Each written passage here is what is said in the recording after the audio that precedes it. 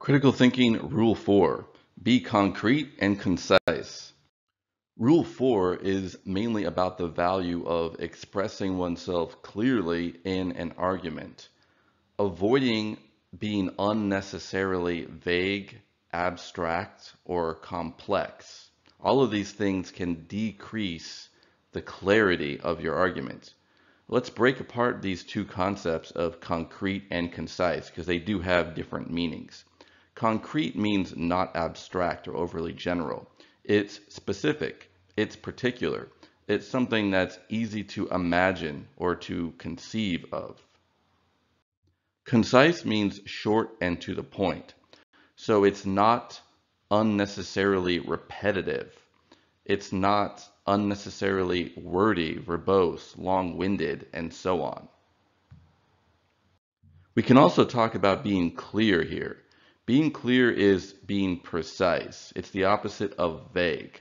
So that's kind of like the underlying principle that involves both being concrete and concise. That's the ultimate goal of these two things. You want to be clear and express in your argument. So let's look at an example. Members of the species Homo sapiens engage in behavior that is often difficult for external observers to interpret in such a way that it permits them to form prospective judgments as to the probability of said behavior. That's obviously a mouthful. There is a real idea being expressed there, but how can we make it more concrete, concise, and clear? Here's an example. People often behave in unpredictable ways. That's basically all that's being asserted here. So members of the species Homo sapiens, that's just people, engage in behavior that's often difficult for external observers to interpret, that's just uh, behave in unpredictable ways.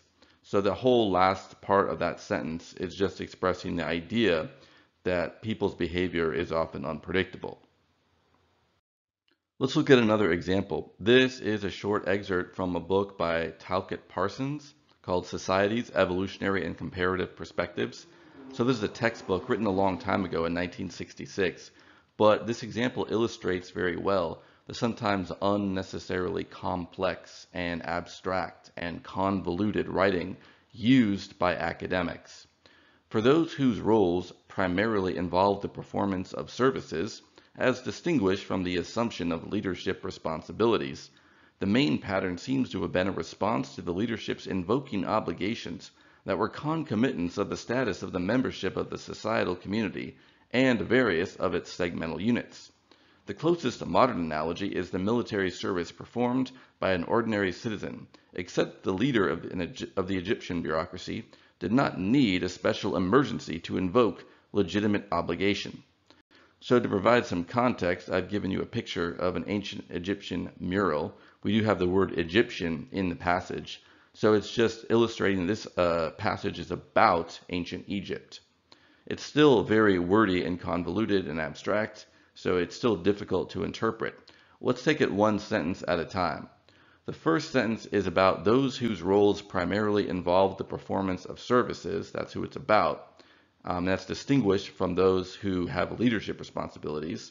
And it's talking about the main pattern being a response to leadership's invoking obligations, etc. So what is this sentence really saying? What is it really getting at? How can we break down the basic idea more simply? This sentence can be expressed as subjects in ancient Egypt performed compulsory labor for the rulers. So the word subject here is just being used for any person who didn't have political authority or great political authority in ancient Egypt. And um, the basic idea expressed by this sentence is that the rulers of ancient Egypt had the right to get forced labor from their subjects as a kind of tax. And actually, this was practiced by a lot of ancient societies. Another example includes China. Um, but notice how simple the idea really is and how unnecessarily complex it's made by that sentence on the left. Let's look at the second sentence more carefully to break that one down. The closest modern analogy is the military service performed by an ordinary citizen. So that first clause isn't so bad. It's talking about military service being performed by ordinary citizens in contrast to professional soldiers, for example.